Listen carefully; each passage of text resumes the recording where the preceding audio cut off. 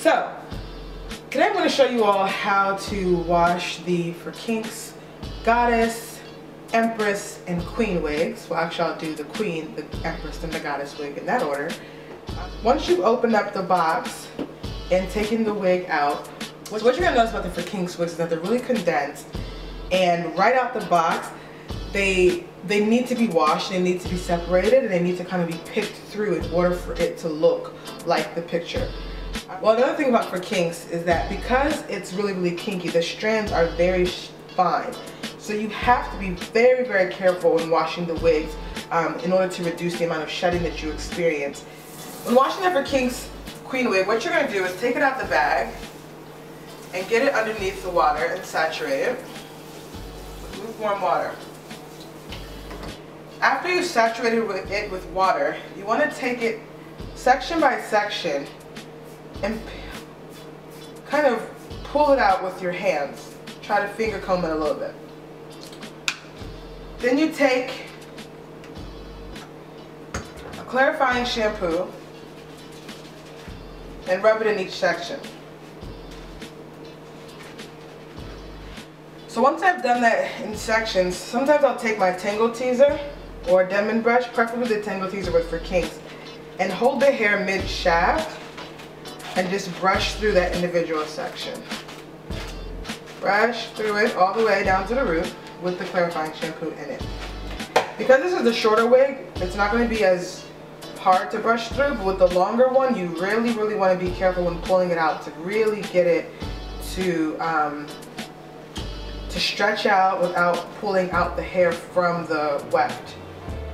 So because it's a wig, the wefts are thinner than regular wefted hair, and because it's a kinkier texture, you have to be careful because it's a little bit more fragile. After you've pretty much gone through it in sections and brushed it through, you see it's kind of loosening a little bit. I'm going to rinse the wig.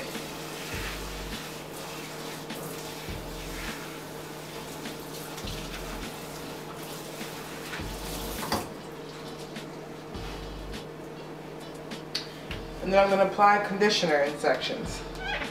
Now when it's wet, it's going to feel a little hard, but once you've put leave-in conditioner on it after the deep conditioner and you hang it to dry, it'll get really, really soft again.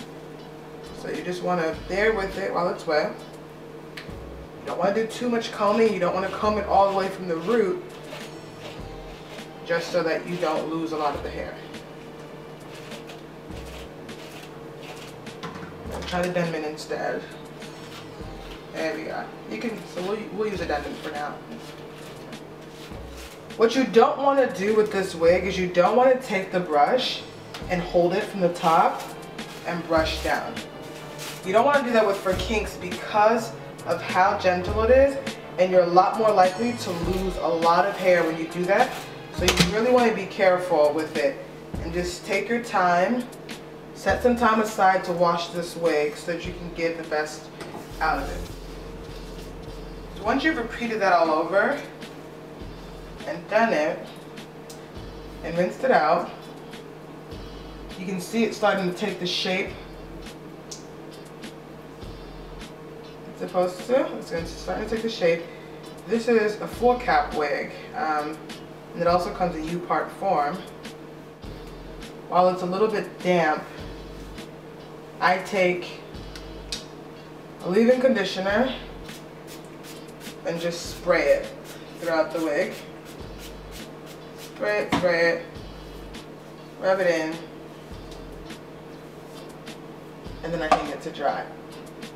And by the time it dries, it usually fluffs up again. This is the same thing that you would do with the Empress wig, which is a little bit longer. This one has actually already been washed. But the reason why I wanted to show you this is just to show you how it's it looks a lot oh, sorry, got one right there, a lot softer and has more of the texture and fullness once it's been washed. And so this is a goddess wig that I wanted to show it to you now that it's dry.